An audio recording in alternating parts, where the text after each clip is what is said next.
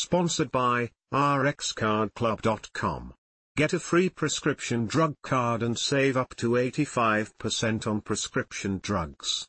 RxCardClub.com, remembering Red Grange, the galloping ghost who made a Caitlin Clark-like impact on football in 1924, Illinois athletic director Josh Whitman tried to pinpoint a way to relate the impact Red Grange made on college football at a speaking engagement this week. How do you explain the impact of a roaring 20s icon to an iPhone 16 audience? Grange, the Illinois halfback who captivated the nation on October 19, 1924, with a legendary performance against Michigan at Memorial Stadium, was a never-before-seen talent in a golden age where newspapers and silent newsreels were the primary means of storytelling.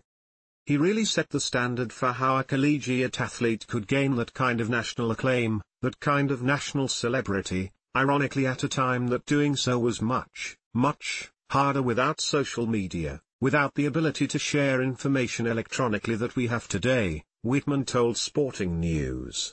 Then, he becomes a transcendent figure in the sport. Whitman found the link. Grange used his popularity in college football and took that massive following to the NFL. Caitlin Clark boosted viewership in college women's basketball at Iowa before taking her game to the WNBA with the Indiana Fever. The Red Grange Caitlin Clark comparison, Heartland heroes who became national treasures, fits a century later. Time will tell obviously if Caitlin has that same kind of impact with women's basketball, but it certainly seems possible, even likely, Whitman told Sporting News. She captured the nation's imagination in the college space very much the same way that Red Grange did and now seems to have taken that visibility and recognition to the next level. Number 22 Illinois will turn back the clock against number 24 Michigan on Saturday for the 100th anniversary of the October 18, 1924, dedication of Memorial Stadium. Grange ran the opening kickoff back for a touchdown, scored four rushing TDs, threw a TD pass and added two interceptions in a 39-14 victory against the Wolverines, a performance that immortalized the legend of the Galloping Ghost. More, Picks against the spread for Week 8 Top 25 matchups.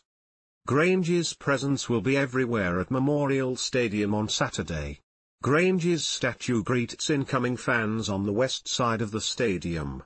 The 77 Club, a tribute to Grange's numbers, offers a luxury stadium experience.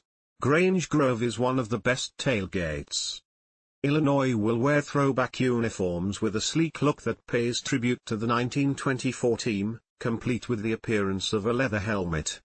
Author Doug Wilhide wrote The Golden Age of Red, a novel of Red Grange, The Galloping Ghost. The novel is a biographical historical fiction piece that looks into the life of Grange from his time at Illinois from 1923-25 and his role in helping establish the NFL with the Chicago Bears. Wilhide also leans into the comparison to Clark. A lot of people in the sports world know Red Grange, but he came to fame before television so he's not fresh in our mind as more recent stars, Wilhide told SN.